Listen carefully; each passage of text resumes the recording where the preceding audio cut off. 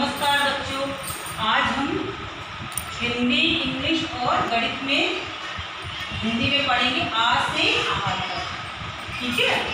और सब उसको वर्णमाला गीत के साथ पढ़ेंगे। आप ये वीडियो देखो और हर अक्षर को अलग अलग पहचान कि क्या एक आ में और बड़ा में क्या फ़र्क है देखो?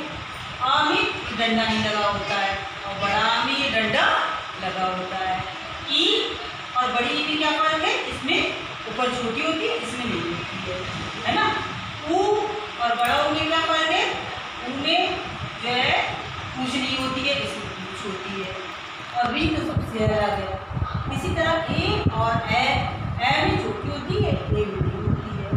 ओ में एक छोटी और ओ में दो चोटी अन में ऊपर एक बिंदी होती है, और आहा में दो बिंदी बगल में होती है तो इस तरह से धीरे धीरे अगर हम रोज पढ़ेंगे तो हमें समझ में आ जाएगा कि हर अक्षर दूसरे अक्षर से अलग होता है। चलो साथ में पढ़ो मेरे।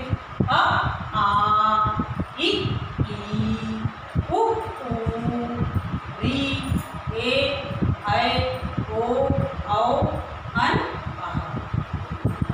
अनार अनार के दाने लाल लाल आ से आम आम खाते मिट्टू लाल ई से इमली इमली खट्टी मीठे बेर ई से ईख ईख के खेत में घुस गया शेर उससे उल्लू उल्लू की आँखें गोल गोल ऊ से ऊँट ऊँट का गोला होता गोल मटोल ऋषि से ऋषि ऋषि बैठकर ध्यान लगाता इससे एक एक लौटा घर को जाता ऐसे ऐनक ऐनक पहने आलू आता ओसे ओखल ओखल लाओ को धान और से औरत औरत होती बड़ी महान अन से अंगूर आहा पक गए खजूर तो ये आज से लेके आहा तक पढ़ो और स्लेट अगर स्लेट चौक स्लेट और चौक चौक लेके स्लेट पर हर अक्षर को बनाओ। इंग्लिश में पढ़ेंगे हम ए टू जेड मेरे साथ बोलो। A B C D E F G H I J K L M N O P Q R S T U B W X Y Z ठीक है? ए उंगली से भी बना लो ए बन गई बी सी और देखो ये डी बन गया। ठीक है? ई एफ़ जी एच आई और ये जे और ये देखो आपका के बन गया। के और के एल आप फिंगर से भी बना सकते हैं। एम और ये एम ओ वो तो ऑटो से भी बन जाता। ओ है ना?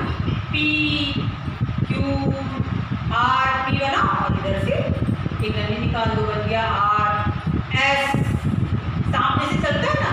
हो गया एस और ये T U V V victory में दिखाते हैं इसको। वी डब्ल्यू एम को उल्टा कर दो। हो गया डब्ल्यू ऐसे एम और ये हो गया आपका डब्ल्यू एक्स और ये हो गया आपका वाई वाई कर सकते ऐसे करके, ऐसे दो बनाते और इधर से डंडा हो। गया वाई और ये जेड हो गई पूरी? फिंगर से भी बन जाती है और आप लोग इसको स्लेट से भी बनाएँगे गिनती, गणित में हम पढ़ेंगे, एक से देखिए, दस तक गिनती। अपनी उंगली से पढ़ो चलो सब लोग।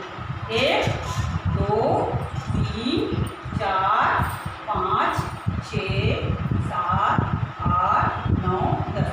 कितनी होती है? दोनों हाथ में मिला के हमारी दस उंगलियाँ होती है। फिर गिनो और लिखो। एक से दस तक लिखो। चलो बाय सब